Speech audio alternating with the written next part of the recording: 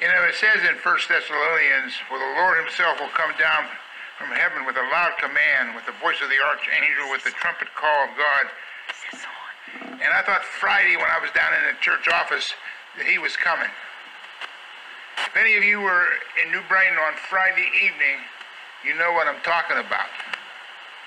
I mean, we were hit with this violent wind and rain and hail.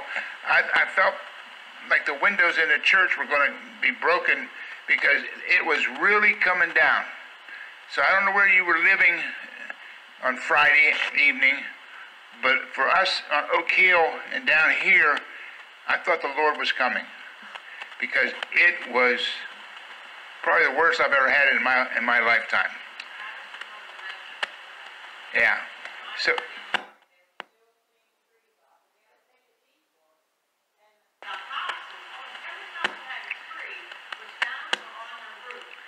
Right. And they, the main, one gentleman that's a resident there said he had never experienced No. anything like No. that. uh, up at the Grace uh, Methodist Church, there was a car parked, and it's covered by trees that had fallen on the vehicle. So it, it was, and we didn't get electric for over 24 hours. And I, I know Joe didn't get it for 24 hours, and and it was it was a while. You know, it was, yeah. I, I thought the Lord was coming. I'm ready, but I I, just hope you're ready. So, uh, again, just remember that. So, praise the Lord. We're here today. It's a beautiful day. Kind of cool. Last week it was 90. Now this week it's 67.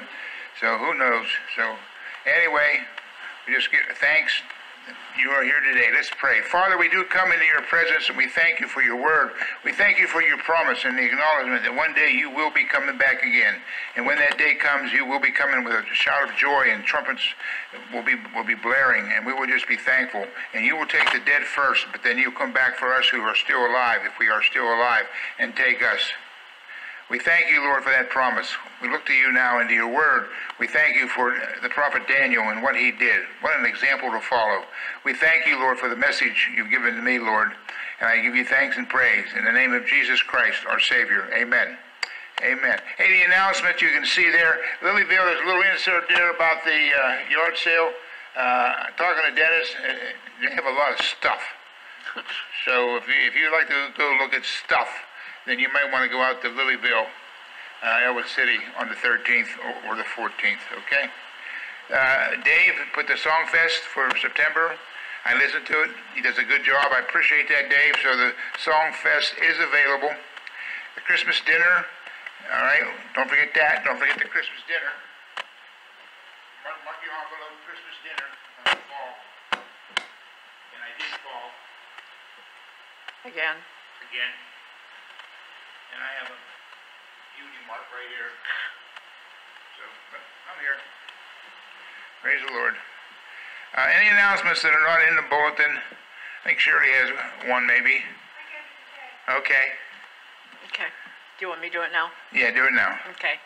Here is a card from Linda. And if you get a chance to look at it, she's been painting these. She's finally found a niche where she can release some of her energy, and I think this just looks like our church from Sixth Avenue. So, It does.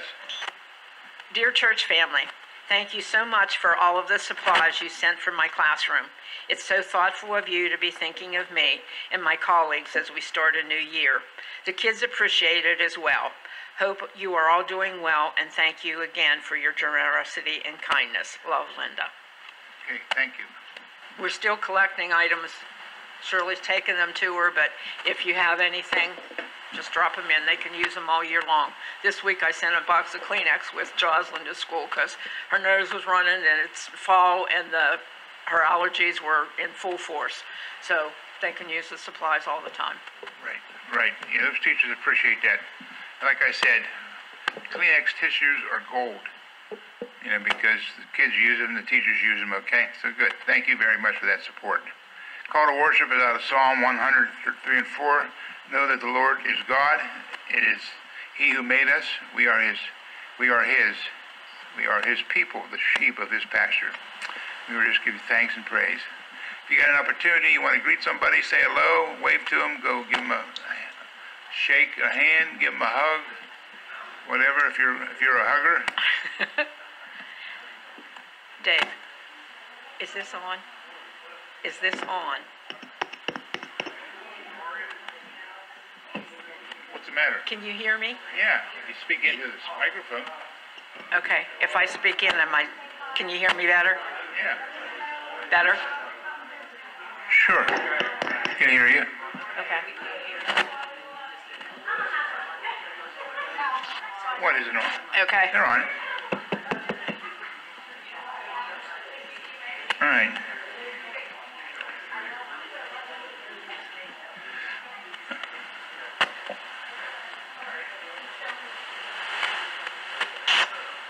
Okay.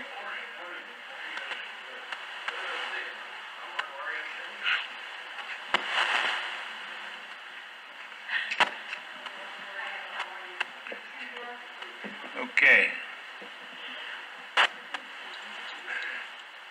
First hymn is number 299.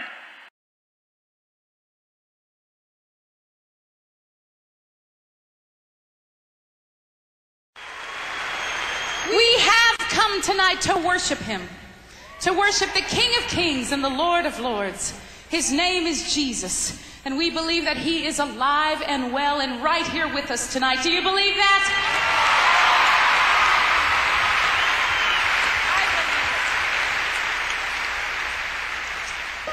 And it is in his name that we have gathered together in this place.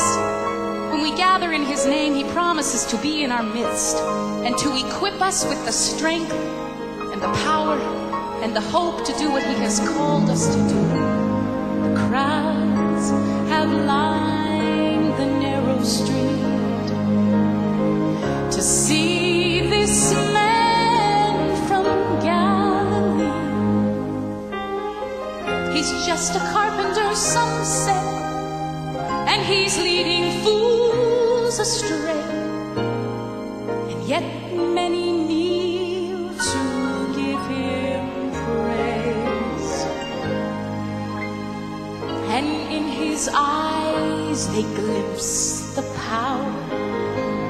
that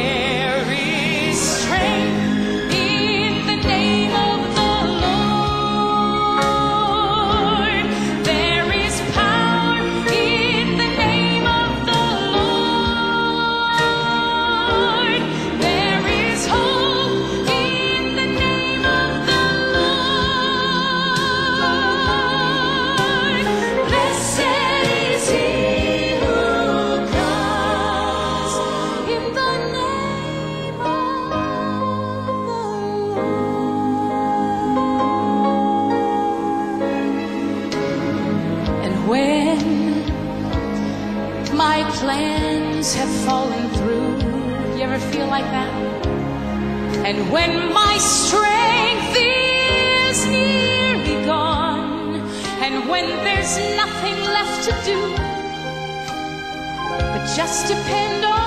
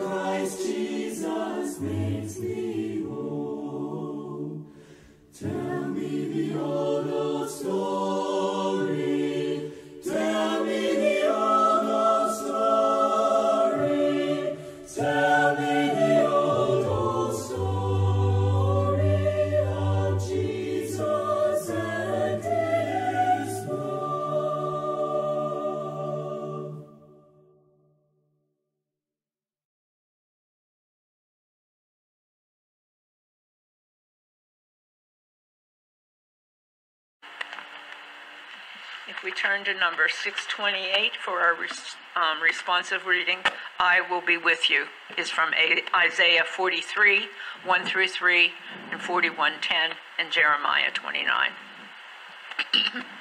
This is what the Lord says He who created you, fear not, for I have redeemed you. I have summoned you by name. You are mine. When you pass through the waters, I will be with you. When you walk through the fire, you, You will not be burned. I am the Lord your God, so do not fear, for I am with you. Do not be dismayed, for I am your God. I will strengthen you and help you. I will uphold you with my righteous my right righteous hand. When you call upon me, I will listen. You will seek me and find me when you seek me with all your heart. May the Lord add his blessing to their reading. Praise God. Our word for today comes from Proverbs 16 9. In their hearts, humans plan their course, but the Lord establishes their steps. Okay. As we continue with prayer and we think of those on the back and those who are in need of prayer, we continue to lift uh, Deb Hunt. Uh, I hear you say she goes and has her staples taken out this week? Tuesday? Okay. So continue to pray for Deb and, and Cliff and the family. Terry Kalutka is now in the rehab doors. She's been moved to rehab? Okay. So remember, uh, Encompass Health and Sewickley. Rodney is still having some pain. Jim Corfield, Martha Smelser, praise the Lord, Martha's here. Uh, any update on you, young lady? You what? Still working at it. You'll be working at it. I'm gonna tell you what, you're gonna be working at it for the next few years. Oh, I'm still, I'm still working, I'm still working at it ten years later. I don't wanna, I don't wanna give you any bad news, but it's, it's gonna take a while. Just do it, just do it, I know you will, just do what they tell you to do, Martha, and you'll be okay. All right, very good. Ryan Kornecki, Roy's uh, Bartlett's son-in-law, you know, continue to pray for, um, him, his recovery on his facial injuries, and of course, able, at some point, the Lord will bless him and his eyesight will return to his right eye. How about Danny? He does, okay, all righty. Bob Dyson, you know, lost his wife, uh, continue to pray for Bob. Uh, Dave Mason, continue. Uh, Barb Mason, Jim LaGood, back pain. Al Martin's here. Praise the Lord for that. All the rest that are listed there are youth, those who are traveling. People will be traveling. Doris Jean and I will be traveling tomorrow morning on the way to uh, the Outer Banks, Lord willing. And uh, so pray for traveling mercy. Always thank the Lord for traveling mercy. Wilma McMillan, our shut-ins, Dolores Powell, Jan and Jack Begley. I think Jack's having a birthday pretty soon. yeah. Yeah, so send him a card. Should have his address. Uh, our military people, those are overseas, those who are stateside, wherever they might be, keep them safe. Be with their families as they wait for them to come back home safely. And the other things that are listed there are missionaries. Continue to pray for our missionaries. Uh, the you know for um, their continued service to the Lord. Uh, Camp Sunrise Mountain, uh, the, the country, our leaders, the upcoming election. We'll just uh, trust in the Lord for that. Uh, and whatever. Any, anybody have something that needs to be added? Doris Jean.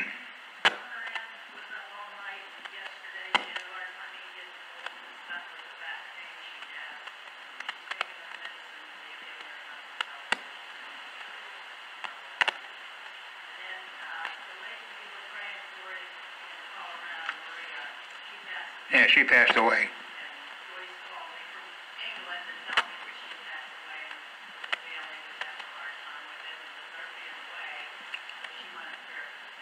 Okay, all right.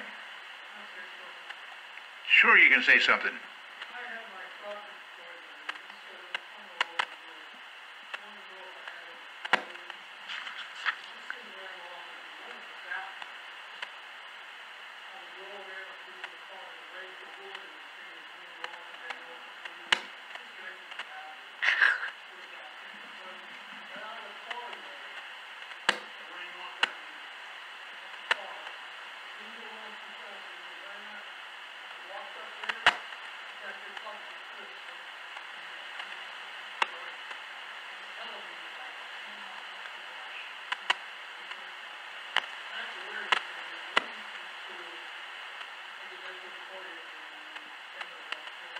Okay? Oh, my. Welcome to life. okay, Dave. Yeah, I know. You know, you know, we have a defibrillator pacemaker, and I know Shirley shared about her husband. Anyway, if that goes off, you'll know it, because it'll knock you from here down to there. If if it goes off, so. Yeah, well, and you drove and you drove yourself to the emergency room. Yeah, I know. Okay, all right. Okay, Dave. And I didn't want to get them to call 911. So what's that say? We're old, we're crusty, don't bother me. okay, anybody else? Yes, Marcia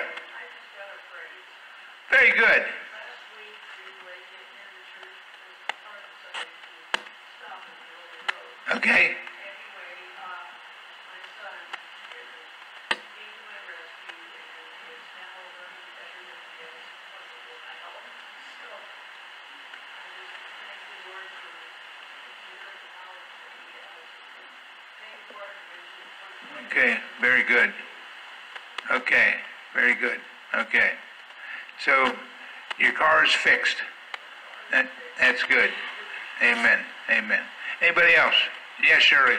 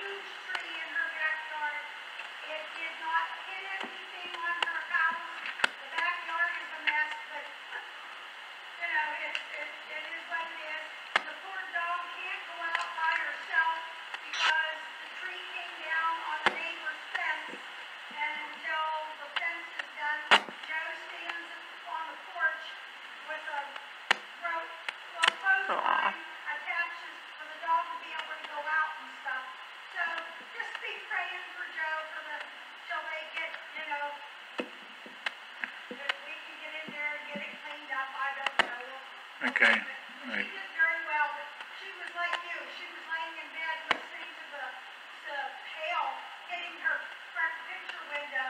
Yeah, because I was afraid it was gonna break my window. Yeah, 'cause we don't get hail storms around here very often, you know. But uh, yeah, a little scary, but uh, we made it. We're okay. So we're glad. Do you have any extra calls there, Mark, during that storm? Oh, okay. Okay.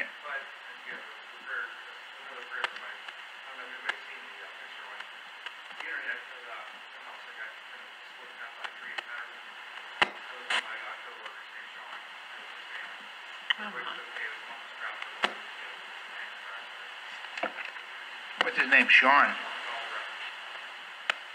So he had he had damage, huh? Well, that's that's damage. Okay. Uh, yeah. Okay. Anybody else? I have two friends, one's Natalie. Oh, you have two friends. Just two, that's, no one.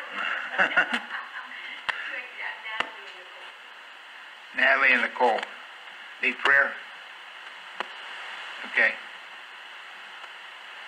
So you, last time you had one friend, so now you got two. I'm, I'm getting there. Way to go, girl.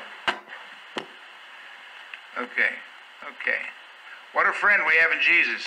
Number 630. There's another one. Huh? Where? There's another friend. Where? What a friend we have in Jesus. Oh, yeah, I thought maybe somebody else had another prayer. I thought somebody else had a prayer. I missed them.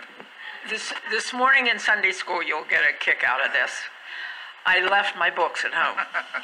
So I went back after them and I thought, devil, you're just trying to confuse me here. I don't know what exactly how to do things, but I want you to know I left him at the door. So he didn't come in here because in Jesus' name we have a friend. That's right. Okay, number 630. 630.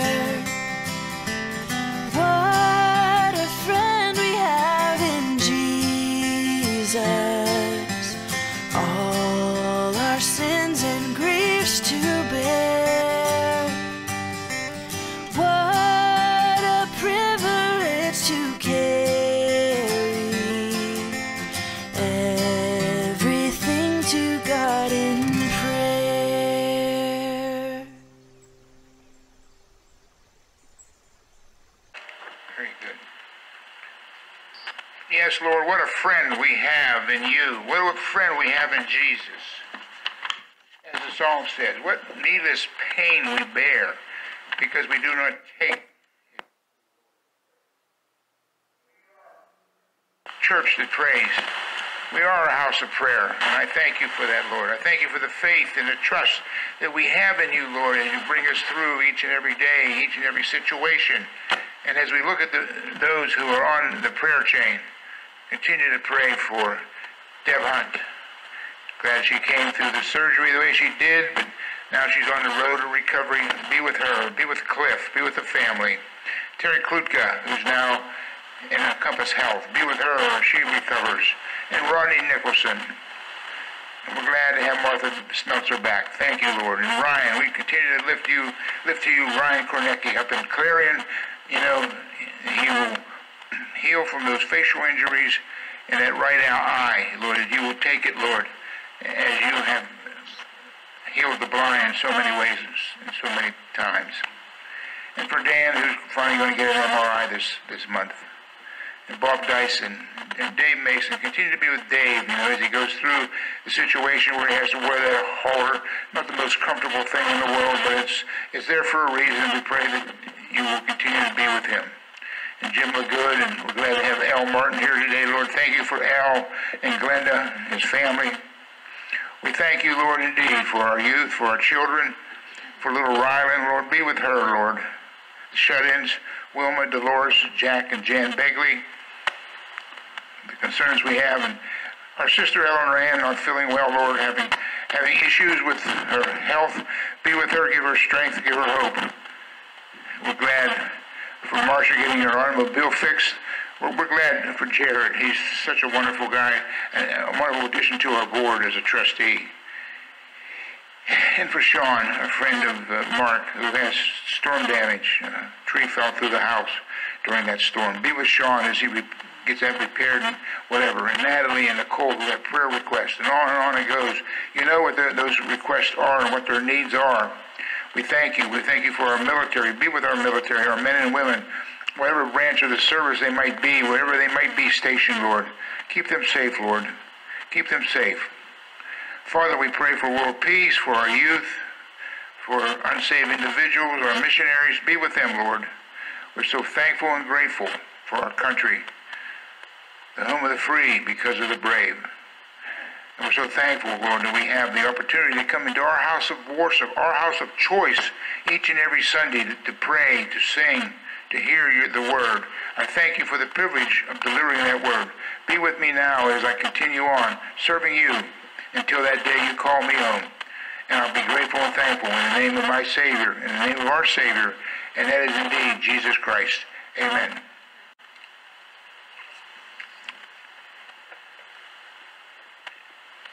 You know, Daniel, example for us to follow. If you read the book of Daniel, maybe you have, maybe you haven't, I don't know, but you know, I would recommend that you do. Doris Jean and I had the opportunity this past spring to go to uh, Lancaster to watch the uh, Daniel, and so wonderful. It was so uplifting. When, when he was in that lion's den, it- showed him just sitting there, and the lions were just sitting there like pets. You know, they were not going to devour him because God blessed him, his, his obedience to the word of God. And his Meshach, and Abednego went into the fiery furnace. And as they showed it there at Lancaster, the three of them there, plus Jesus was there. And not a hair was singed on there. Because, God, of your strength, of your guidance. And I thank you. So, how do you make a decision, whether it's a large decision or a small decision? Well, see, some people just give in to the desires of the moment. Others carefully consider the pros and the cons, then make a choice that seems most beneficial. However, both of these approaches can be based merely on a person's preference. The best way to make decision is to rely on the principles found in the Word of God. Today I've selected a verse out of Ecclesiastics chapter 3, verse 9.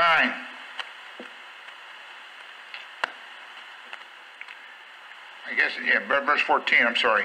I know that everything God does will endure forever. Nothing can be added to it and nothing taken from it.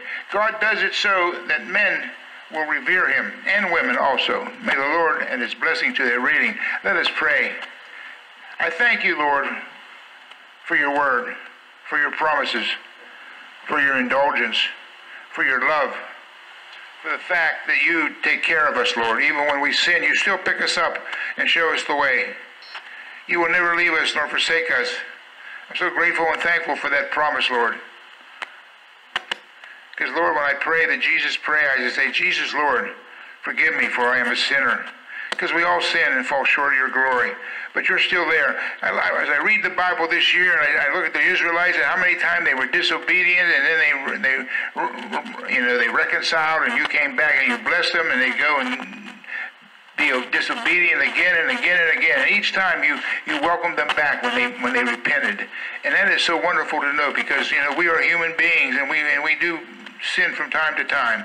Forgive us, Lord. Be with us now, and I ask this in your name. Amen. See, Daniel Daniel knew how to make choices based on the in, unchanging uh, scriptures. He followed them. Although he was under tremendous pressure to live like the Babylonians, he stayed true to the biblical principles he had learned as a young child. So let's take a look at the historical setting of that time. Daniel lived in Babylon during a period of Hebrew exile. After conquering Jerusalem, King Nebuchadnezzar selected the brightest and the most capable young Jewish men. His plan his plan, not God, but his plan was to make them act and think like Babylonians. Along with others, Daniel was trained in the culture, the literature, the religion, and worldview of his captors. Daniel and the other men cooperated with the king's plan as long as it didn't as long as it didn't conflict. It didn't conflict with their faith in God. They knew how to make righteous choices, even in an ungodly setting, which they were. There are two fundamental bases for making a decision. The first principle is a fixed, determined mode of conduct or moral rule based on the Word of God. As Christians, As Christians, we should live by convictions that are grounded in the Word of God. For example, the Ten Commandments tell us not to steal, not to lie, not to cheat, not to murder, not to commit adultery, or worship false gods. Issues such as these should be, and they are, non negotiable for us as believers. We can't. I read a sign at a church one time. The Ten Commandments is not multiple choice. You understand that? It's not multiple choice. They're there for a reason. The second basis for decisions is preference. These are moral choice choices based on likes and dislikes. Whatever seems best in the moment. A person who operates on this basis asks what's going to make me feel good, please me, honor me, or benefit me.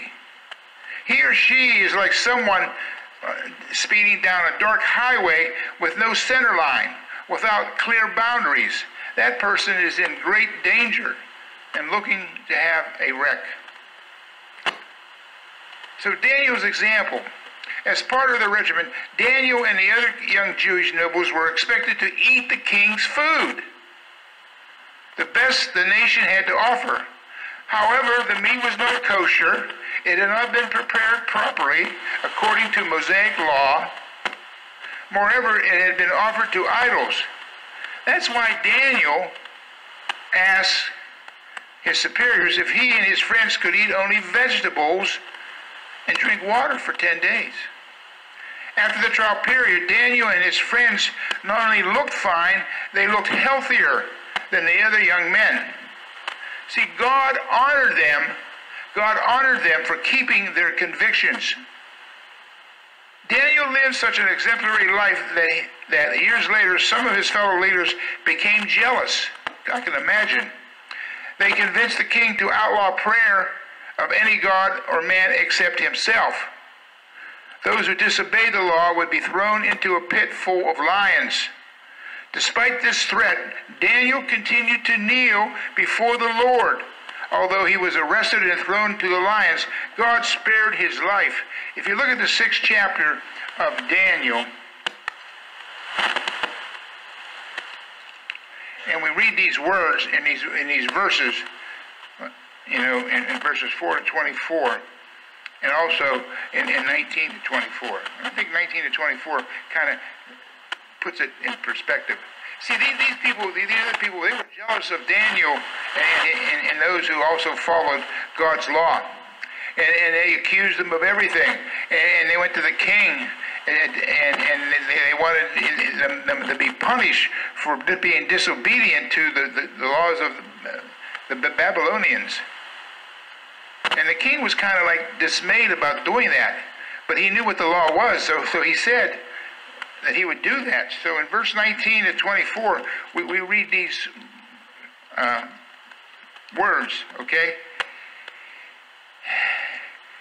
He was thrown into the, the lion pit, and the king, at the first light of the dawn, the king got up and turned to the lions and hurried to the lion's den. When he came near the den, he called to Daniel in an anguished voice, Daniel, servant of the living God, has your God, whom you serve continually, been able to rescue you from the lions? Guess what? Daniel answered, O king, live forever. My God sent his angel, and he shut the mouths of the lions. They have not hurt me because I was found innocent in his sight, nor have I ever done any wrong before you, O king.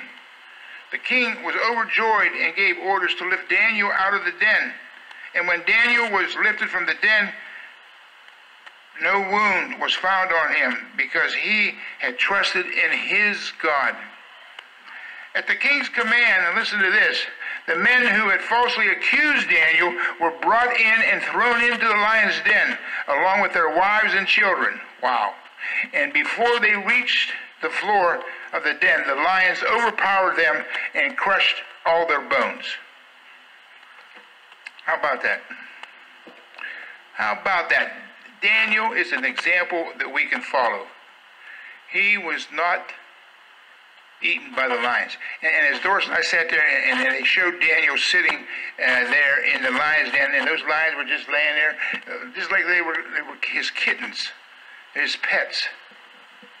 But those who falsely accuse, they paid for what they did and what they said. And when they went into the pit, before they hit the floor, the lions devoured them. See, not only was Daniel restored to a position of authority, he also had the opportunity to serve as a leader for approximately 70 years under four different kings Nebuchadnezzar, Belshazzar, Darius, and Cyrus. He had a tremendous influence on the kingdoms that they represented. He also wrote some of the most significant prophecies in the Bible. Our choices, your choices, our choices, my choices, our God should be guided by core beliefs such as these. First of all, that Jesus, Jesus is the Son of God and the Savior of the world. Jesus is the Savior of the world. He is more than a good man, a prophet, or a healer. Jesus is the only way to God. And we read this in John 14, 6. Jesus said, I am the way. I am the way, the truth, and the life. No one, no one comes to the Father except through me. If you don't know Christ, now sometimes I feel like I'm preaching to the choir, but you know what? The choir has to sing. So keep singing, people, to your friends and your relatives. And don't worry if they say, all you talk about is Jesus. Well, what, who else would you talk about? You shouldn't be talking about anybody else. You don't talk about Steelers today, but you should be talking about Jesus. You're the choir, so sing. To know him, to make him known. The next, the Bible is the inspired word of God, and as such is infallible and in- inerrant. In 2 Timothy 2 Timothy 3:16 we read these words. All scripture, not some, all scripture is God breathed and is useful for teaching, rebuking, correcting, and training in righteousness. Here it is. Our guide. You can't discount certain passages because they are hard to accept, or you just uh, that, that, that, that does that Bible really say that? No, yeah, it says that. So you just can't pick and choose. Next, our bodies are temples of the Holy Spirit. Believers should not abuse their bodies with drugs, with alcohol, immorality, or other distract, destructive behaviors. Money is not a God. Accumulation of wealth is not for the, our highest priority. Hebrews 13:5 Keep your lives free from the love of money and be content with what you have. Because it said, never, never will I leave you, never will I forsake you.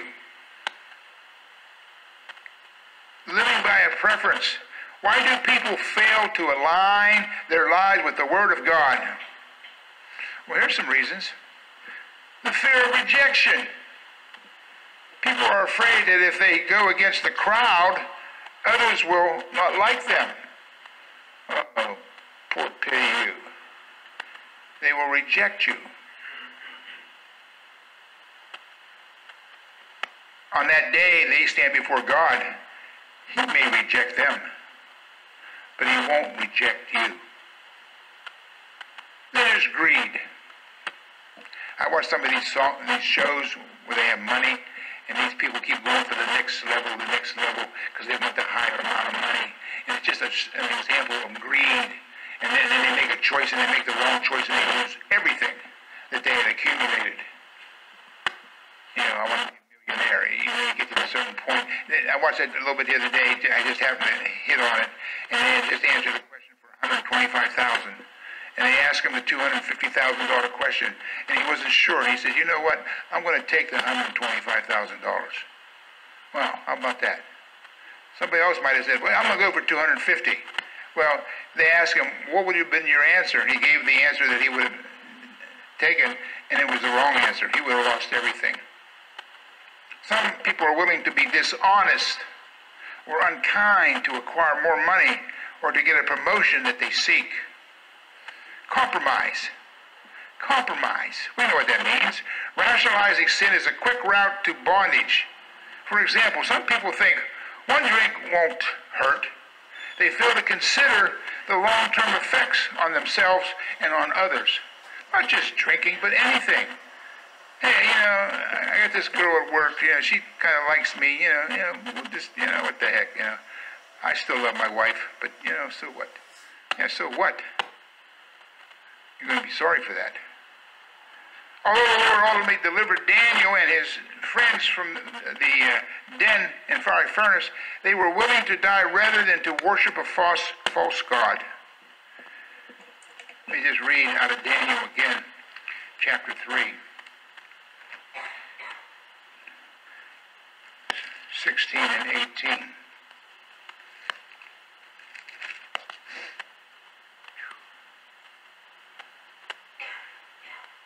Shadrach, Meshach, and Abednego replied to the king, O Nebuchadnezzar, we do not need to defend ourselves before you in this matter.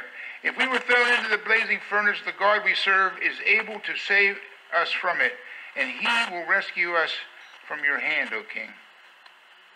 But even if he does not, we want you to know, O king, that we will not serve your gods or worship the image of gold you have set up.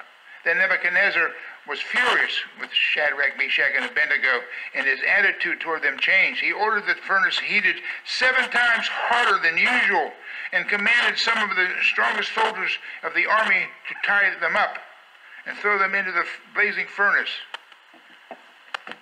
Even the men wearing and doing that fainted and died because of the heat. And Shadrach, Meshach, and Abednego went into the furnace. And when they looked, they saw the image of four people. Four people. And who was that fourth person? That fourth person was Jesus. And they were not burned. There was not even a, a hair on their body was not even singed. God rescued them for their obedience to him. We should have the same commitment in obeying God.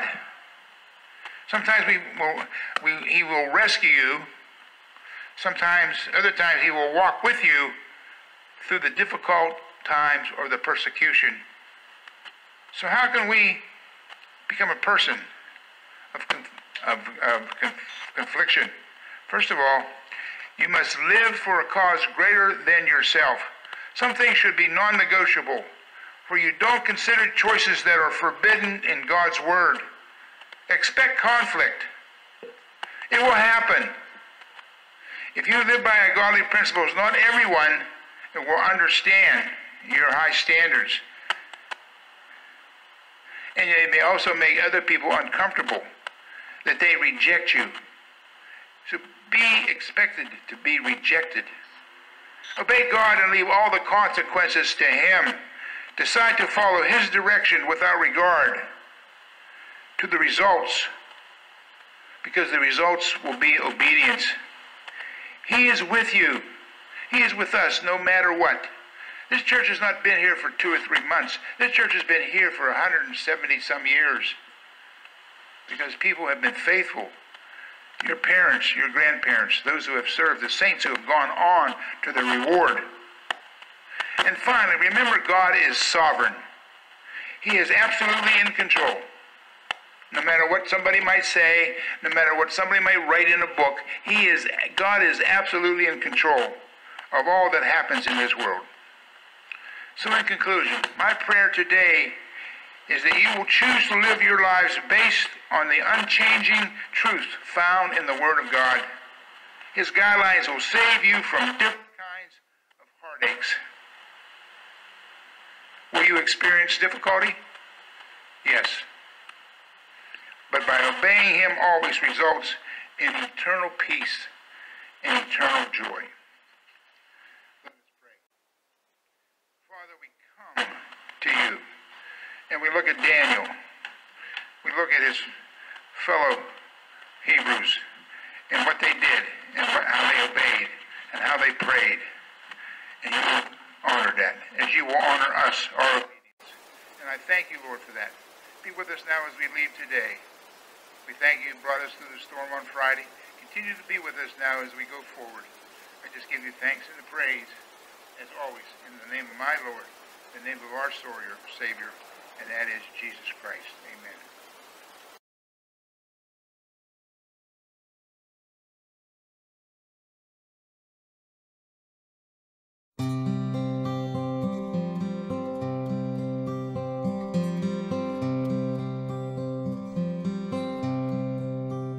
Blessed assurance, Jesus is mine. Oh, what a of glory divine. Heir of salvation, purchase of God, born of His Spirit, washed in His blood. This is my story, this is my song praising my Savior all the day long. This is my story, this is my song, praising my Savior all the day long. Perfect submission, perfect delight, visions of rapture now burst on my sight. Angels descending, bring from above echoes of mercy, whispers of love. This is my story, this is my song, praising my Savior all the day long. This is my story, this is my song, praising my Savior all the day long, praising my Savior all the day long.